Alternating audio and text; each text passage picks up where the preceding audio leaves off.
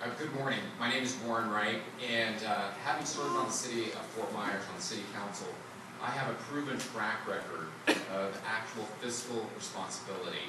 Uh, For four years in a row, four budgets in a row, I was voted down four to one, but I was determined, and I drew a line in the sand, that I would not borrow from reserves to balance the budget. This took a lot of political will, something that I think will be necessary for the upcoming years on the county commission for District Two. You know, taking a look at the executive summary for the upcoming budget, uh, expenditures have gone up one percent, yet revenues have gone down more than ten percent. And the expectation is that money will be coming, more money will come in in the future. I cannot operate on a budget of hope.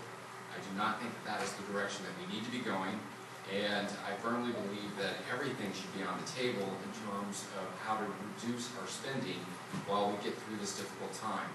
You know, as I go and talk to people throughout the, throughout the county, I'm doing it the old-fashioned way, knocking on doors every night and every weekend.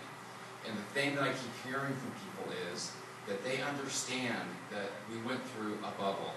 We're not going to return to those kind of economic times anytime soon. But what they're frustrated with is that the county has not grasped that concept. You know, they, they, they consistently point to things like beautification projects or lavish uh, expenditures on baseball stadiums. They feel like there is, there is, a, people are out of touch within the county government. Boy, that goes fast.